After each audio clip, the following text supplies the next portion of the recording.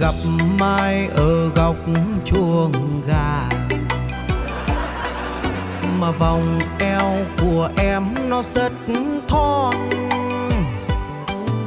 Mà này mai hỡi ơi, mai ơi, cho anh sơ mũi em được không? Còn lại tối anh sẽ luộc sau.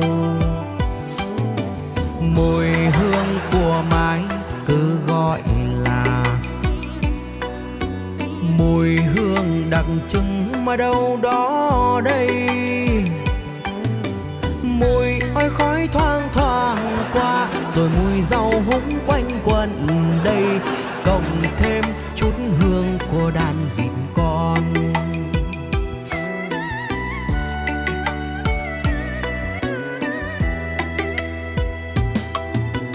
Thôi mai ơi anh chẳng thèm, cái mùi oi khói đẩy đâu. Thôi anh sẽ nhường các bạn các bạn ở tiktok anh. Mà các bạn sẽ thích lắm đây. Ấy, sướng nha, nhất công nhá.